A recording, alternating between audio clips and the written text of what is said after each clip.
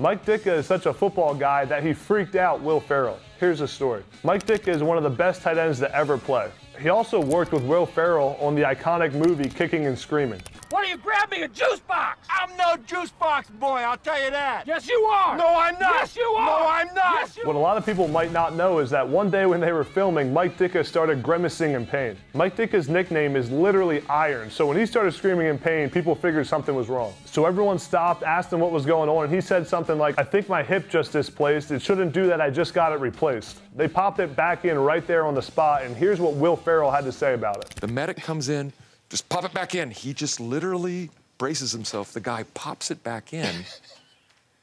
And they we're like, okay, Mike, what do you want to do? Do you need to go home? Do we need to call an ambulance? It's like, just give me some Advil. Let's just keep rolling. Let's just keep going.